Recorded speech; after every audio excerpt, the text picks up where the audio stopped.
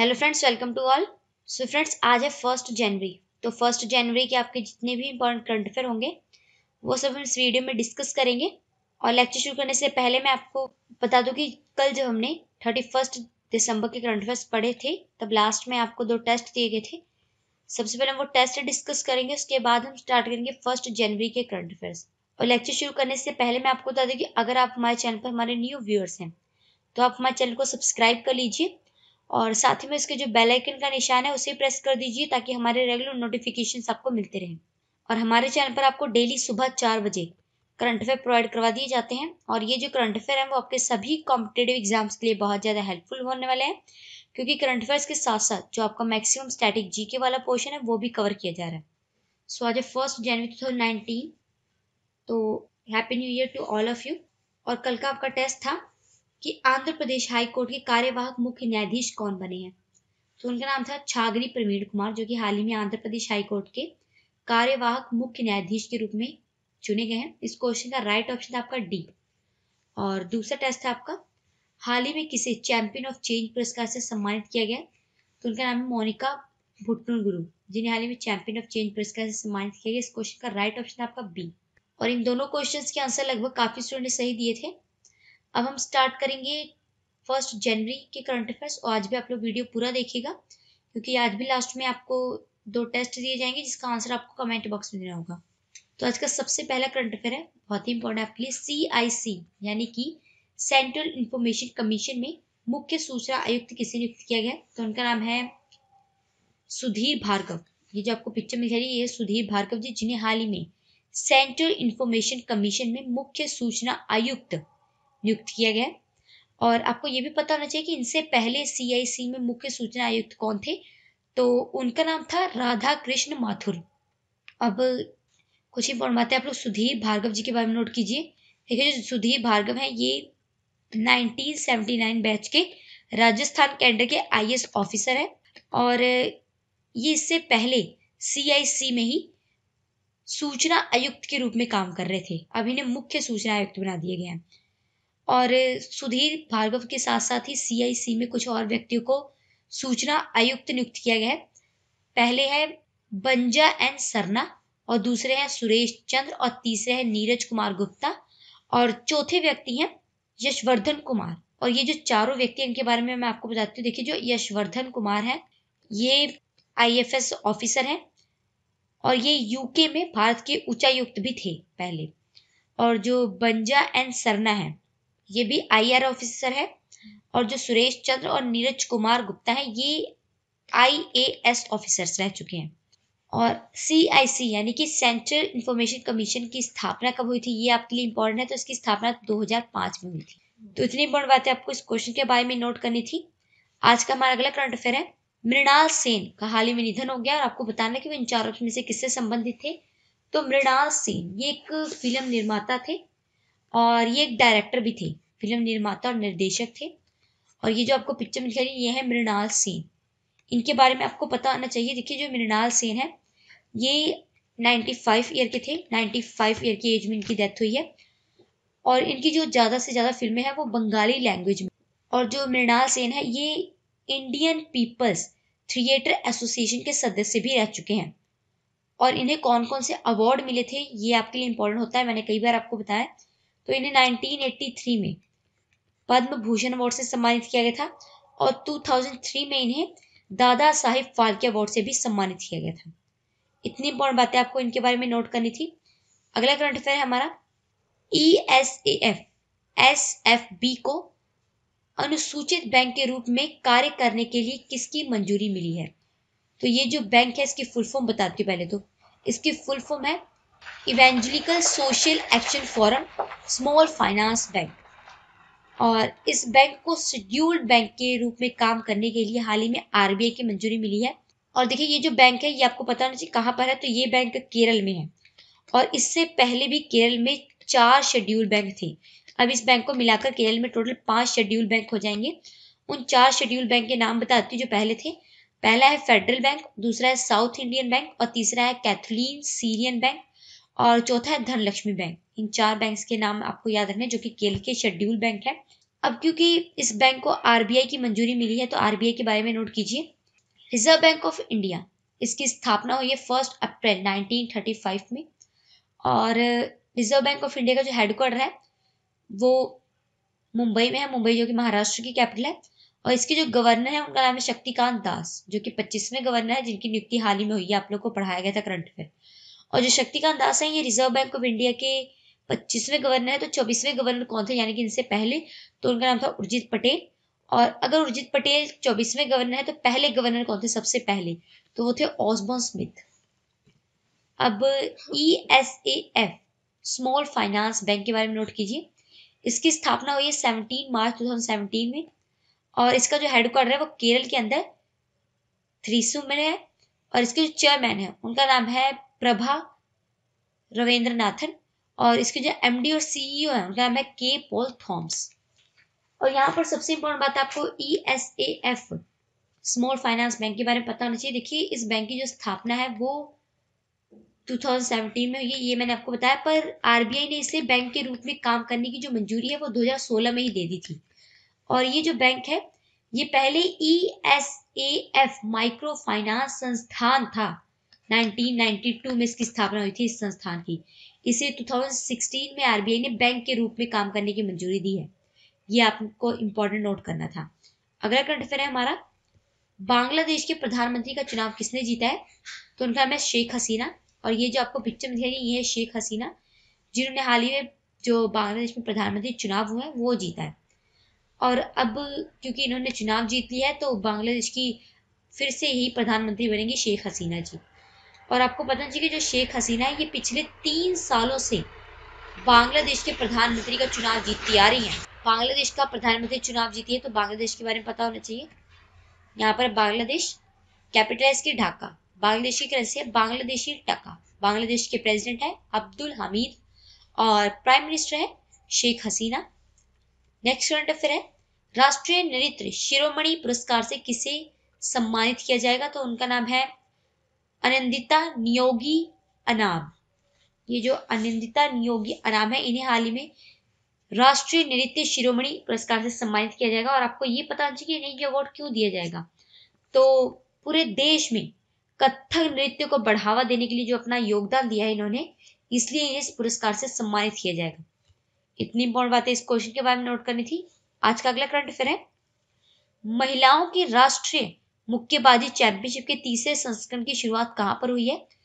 तो जो राष्ट्रीय मुक्केबाजी चैंपियनशिप है, इसकी शुरुआत हाल ही में कर्नाटक में हुई है। कर्नाटक के अंदर कहा? तो कर्नाटक के अंदर विजयनगर में ये चैंपियनशिप शुरू हुई है। और आपको पता चाहिए ये चैंपियनशिप कब से कब तक ऑर्गेनाइज की गई है? तो 31 दिसंबर से लेकर 6 जनवरी तक इस चैंपियनशिप को ऑर्गेनाइज किया जाएगा। और आपको पता चाहिए कि ये चैंपियनशिप किसके द्वारा ऑर्गेनाइज की जा रही है? तो ये championship boxing federation of India के द्वारा ऑर्गेनाइज की जा रही है। और बॉक्सिंग फेडरेशन ऑफ़ इंडिया के बारे में भी नोट कीजिए। इसकी स्थापना आपको पता चाहिए कब हुई है। इसका जो हेडक्वार्टर है वो न्यू दिल्ली में है और इसके जो अध्यक्ष हैं प्रेजेंट में उनका नाम भी पता होना चाहिए तो उनका नाम है अजय सिंह। अब खेल की बात चल रही है तो खेल मंत्री का नाम भी तो आपको याद रखना होगा। तो हमारे जो खेल मंत्री है, उनका नाम है राज्यवर्धन सिंह राठौर, जो कि प्रेजेंट में हमारे खेल मंत्री हैं। क्योंकि चैंपियनशिप कर्नाटक में शुरू हुई है तो कर्नाटक के बारे में नोट कीजिए। यहाँ पर कर्नाटक कर्नाटक की कैपिटल है बैंगलोर।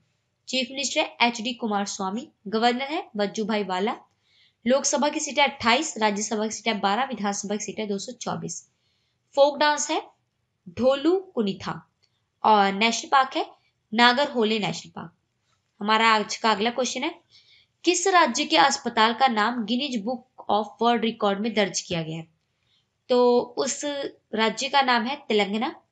हाल ही में तेलंगाना का जो एक हॉस्पिटल है, हॉस्पिटल का नाम बताती हूँ। हॉस्पिटल का नाम है M N J institute of oncology and regional cancer centre ये जो हॉस्पिटल है, इसे हाल ही में Guinness book of world record में शामिल किया गया। और देखिए, ये जो हॉस्पिटल है, इसे, इससे पहले high range book of world record में भी शामिल किया गया था। अब क्योंकि ये तेलंगाना का हॉस्पिटल है, इतनी बड़ी अचीवमेंट मिली इस हॉस्पिटल को तो तेलंगाना के बारे में नोट कीजिए। यहाँ पर तेलंगाना तेलंगाना कैपिटल है, हैदराबाद चीफ मिनिस्टर है कल्वकुंतला चंद्रशेखर रॉय। गवर्नर है, यानी कि राज्यपाल E S L Narasimha. Lok Sabha की सीट है सतारा, विधानसभा की सीट है 119 और राज्यसभा की सीट है सात। और तेलंगाना राज्य का गठन कब हुआ था? तो 2 जून 2014 में तेलंगाना राज्य का गठन हुआ था। और इसका जो फोक डांस है, यानी कि लोक नृत्य, वो है परिनी ठंडावम। और जो नेशनल पार्क है, यानी कि राष्ट्रीय उद्यान वह है मृगवानी नेशनल पार्क। हमारा गजब क्वेश्चन अगला क्वेश्चन है आईसीसी के द्वारा महिला क्रिकेट ऑफ़ द ईयर का खिताब किसने जीता है? तो उनका नाम है समृति मंथाना देखिए जो समृति मंथाना है, इन्हें हाल ही में आईसीसी ने महिला क्रिकेट ऑफ़ द ईयर पुरस्कार से नवाजा है। और आपको बता कि जो स्मृति मंथाना है ये हमारे भारतीय क्रिकेटर हैं और इन्हें, यानी कि ये ऐसी दूसरी भारतीय क्रिकेटर हैं जिन्हें इस अवार्ड से सम्मानित किया गया। इससे पहले किसे सम्मानित किया गया था? तो उनका नाम है झूलन गोस्वामी, जिन्हें 2007 में महिला cricket of the year award से सम्मानित किया गया था। और स्मृति मंथाना को इसी के साथ साथ women one day player of the award से भी सम्मानित किया गया। है और आईसीसी ने हाल ही में इंग्लैंड की जो सोफी एक्लेस्ट्रोन है, उन्हें भी ICC emerging player of the year award से सम्मानित किया है। अब समृति मंथाना, आपका आंसर है तो इनके बारे में इंपॉर्टेंट नोट कीजिए कि जो समृति मंथाना है ये प्रेजेंट में वनडे बल्लेबाजों में आईसीसी महिला रैंकिंग में चौथे स्थान पर है और टी ट्वेंटी बल्लेबाजों की आईसीसी महिला क्रिकेटर में ये दसवें स्थान पर है। इतनी इंपॉर्टेंट बातें आपको इंपॉर्टेंट नोट करनी है। आईसीसी के बारे में नोट कीजिए। इसकी फुल फॉर्म आपके लिए इंपॉर्टेंट है। फुल फॉर्म है इंटरनेशनल क्रिकेट काउंसिल स्थापना हुई है 15 जून 1909 में। हेडक्वार्टर है यूएई के अंदर दुबई में यूनाइटेड अरब अमीरात के अंदर दुबई में। चेयरपर्सन है शशांक मनोहर सीईओ यानी कि चीफ एग्जीक्यूटिव ऑफिसर है डेव रिचर्डसन अगला क्वेश्चन है किस राज्य ने उज्ज्वला सैनिटरी नैपकिन पहल शुरू की है? तो उस राज्य का नाम है उड़ीसा। हाल ही में उड़ीसा राज्य ने हम्म। महिलाओं की सेफ्टी और उनके स्वास्थ्य को नज़रअंदाज करते हुए उज्ज्वला सैनिटरी नैपकिन पहल शुरू की है। और देखिए इस पहल से क्या होगा कि महिलाओं को सस्ते में सैनिटरी पैड प्रोवाइड करवाए जाएँगे। और इस पहल को किसने शुरू किया है? तो हमारे जो पेट्रोलियम और प्राकृतिक गैस मंत्री हैं, जिनका नाम है धर्मेंद्र प्रधान, उन्होंने इस पहल को शुरू किया है। और इस पहल के तहत ऑयल मार्केटिंग जो कंपनीज़ है उड़ीसा की, वहाँ पर सामान्य सेवा केंद्रों में 100 मैन्युफैक्चरिंग यूनिट की स्थापना भी की जाएगी, जिसे सस्ते में वुमेन्स को पैड प्रोवाइड करवाए जाएँगे। अब उड़ीसा ने यह पहल शुरू की है तो उड़ीसा के बारे में आपको पता होना चाहिए। यहाँ पर उड़ीसा उड़ीसा की कैपिटल है भुवनेश्वर। चीफ मिनिस्टर है नवीन पटनायक, गवर्नर है प्रोफेसर गणेशी लाल। लोकसभा की सीटें 21 राज्यसभा की सीटें 10 विधानसभा की सीटें एक सौ सैंतालीस। और जो फोक डांस है, यानी कि लोक नृत्य, वो है घूमरा, छऊ और उड़ीसी। नेशनल पार्क है भीतरकनिका नेशनल पार्क। अगला क्वेश्चन है आपका किस राज्य ने एक जिला, एक उत्पाद योजना शुरू की है? तो उस राज्य का नाम है उत्तर प्रदेश। हाल ही में यूपी ने एक जिला, एक उत्पाद योजना शुरू की है। और देखिए, इस योजना के तहत क्या होगा कि यूपी के अंदर शिल्प और उत्पादों को बढ़ावा मिलेगा। और इसी पहल से क्या होगा कि यूपी में जो मैन्युफैक्चरिंग है, किसी भी प्रोडक्ट की, उसको बढ़ावा देने के लिए न्यू न्यू टेक्नोलॉजीज़ को इंट्रोड्यूस किया जाएगा। यूपी के बारे में नोट कीजिए। यहाँ पर यूपी यूपी की कैपिटल है लखनऊ। चीफ मिनिस्टर है योगी आदित्यनाथ, गवर्नर है राम नेक, लोकसभा की सीटें अस्सी, राज्यसभा की सीटें इकतीस, विधानसभा की सीटें चार सौ तीन और फोक डांस है रासलीला, नेशनल पार्क है दुधवा नेशनल पार्क। हमारा अगला क्वेश्चन है नॉर्मन गिम्बेर का हाल ही में निधन हो गया और आपको बताना है कि वे चार ऑप्शन से किससे संबंधित थे? तो नॉर्मल गिम्बेर, ये एक सिंगर थे। मैं बता दूँ आपको कि ये अमेरिकन सिंगर थे।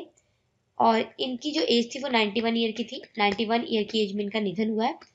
और आपको पता चाहिए इन्हें 1984 में song writer hall of fame में शामिल किया गया था। इन, ये कौन कौन से अवार्ड मिले थे, ये आपके लिए इंपॉर्टेंट है। और ये बहुत ही ज़्यादा इंपॉर्टेंट क्वेश्चन है आपके लिए, क्योंकि इन्हें ऑस्कर अवार्ड से भी सम्मानित किया गया है। और 1974 में इन्हें ग्रैमी अवार्ड से भी सम्मानित किया गया है।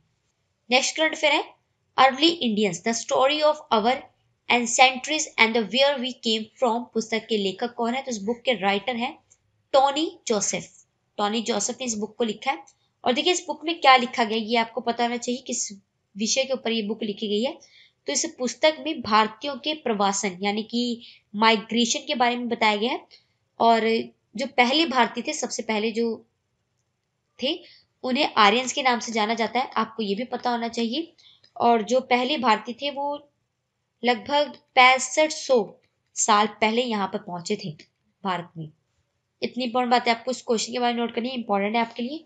सो so फ्रेंड्स ये थे आपके फ़र्स्ट जनवरी 2019 के करंट अफेयर्स और जैसे स्टार्टिंग में आप लोगों को कहा गया था कि लास्ट में दो टेस्ट दिए जाएँगे, सबसे पहला टेस्ट है कि भारत के मुख्य मुक्केबाजी कोच के रूप में किसने शपथ ली है? उनका नाम इन चारों में से बताना है, बहुत इंपॉर्टेंट है। दूसरा टेस्ट है, किस इंग्लिश क्रिकेटर को नाइटहुड के सम्मान से सम्मानित किया जाएगा? उनका नाम भी इन चारों में से ऑप्शन में से बताना है। इन दोनों क्वेश्चन के आंसर आपको कमेंट बॉक्स देने होंगे। सो फ्रेंड्स वीडियो अच्छा लगा तो प्लीज़ लाइक कीजिएगा शेयर कीजिएगा और हमें कमेंट करके ज़रूर बताइएगा कि आपको वीडियो कैसा लगा। और हम आपसे मिलते हैं नेक्स्ट लेक्चर में, तब तक ज़रूरी मेरे साथ थैंक यू